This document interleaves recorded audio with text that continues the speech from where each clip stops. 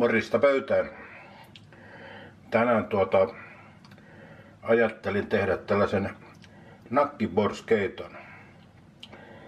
Eli siihen borskeittohan tulee tietysti punajuurita paljonkin ja ne raastetaan punajuuret. Myöskin porkkana tulee jonkun verran, sitä raastetaan sinne ja omena raastetaan. Sitten tuota, kaalia tulee. Se silputan jonkinnäköisen pienen, pienen mallin ja, ja tuota, sitten ne, niitä nakkeja. Valkosipulia, smetanaa ja persiliä. Että joo, tästä ei auta sit mikään muu kuin ruveta raastamaan noita punajuuria ja muuta juureksia ja katsotaan sitten eteenpäin.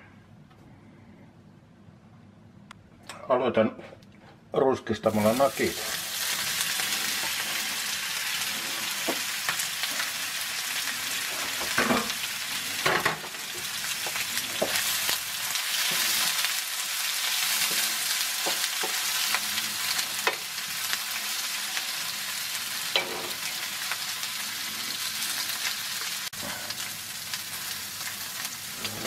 Suolaa siihen ei tarvita nakkeihin.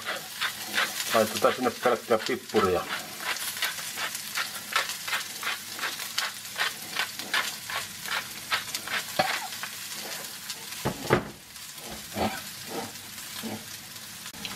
No niin, saavat olla.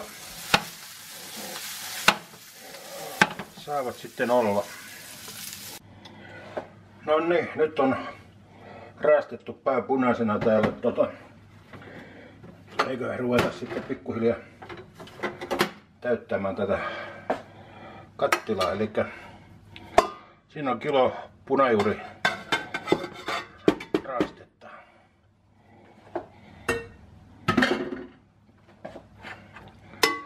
Siinä on porkkanaraaste.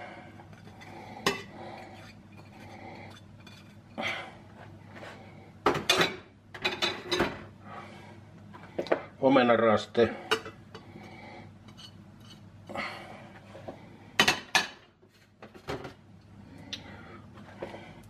Silputtu sipuli.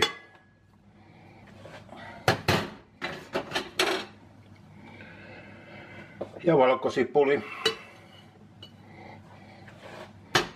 Noin.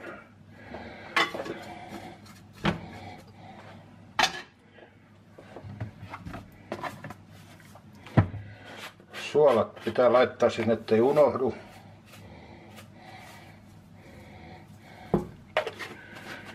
Joo.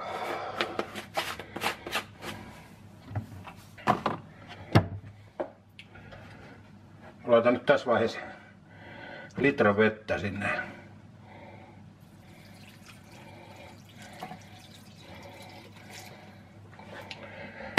Joo, tämä voi nyt sitten laittaa tulille vielä mä silppuan kaali sinne joukkoon, mutta se saa aloittaa siinä kyllä.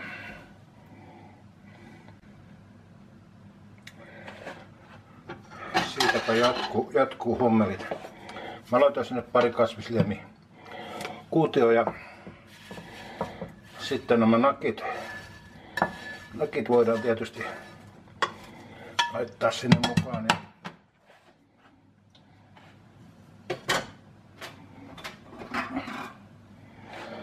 Sitten kaalia sen verran kun mahtuu. Se kyllä menee tietysti keittäisi kasaan, mutta tota, eli sitä voidaan vielä hiukan lisätä siihen, mutta siinä pääpiirteissä. Sitten mä laitan sinne kyllä tässä vaiheessa jo ihan surutta vettäkin lisää. Puoli litraa siitä vielä vettä lisää ja siitäpä se sitten siitäpä se sitten saa lähteä. Joo. vähän kaalia vielä mukaan, niin siitä aletaan olemaan aika hyvissä malleissa.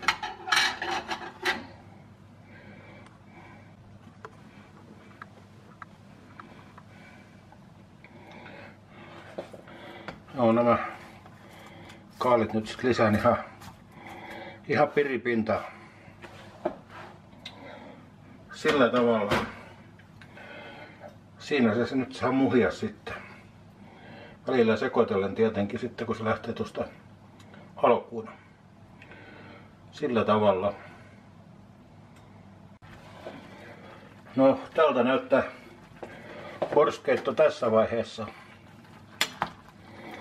kyllä se on melkoisen, melkoisen kypsä tavara alkaa olemaan, että saa nyt muhia tuossa vielä, vielä varttiverran ja, tässä vaiheessa sitten lisätään enää persilja.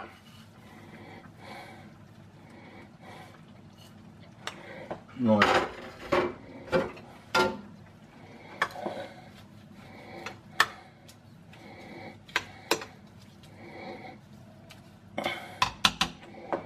se on siinä ja saa jäädä vielä muhiman varttiksi. Joo, tällainen annos syntyi nakki keitosta. Eli tota noin, ei siinä muuta kuin pienet koemaistiaiset.